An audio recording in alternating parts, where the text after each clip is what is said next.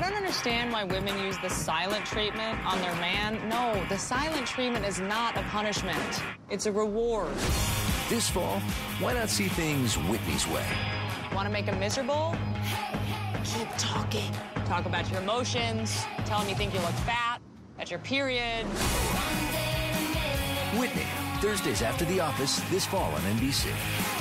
Talk about cellulite, your future together, kids' names. Keep talking.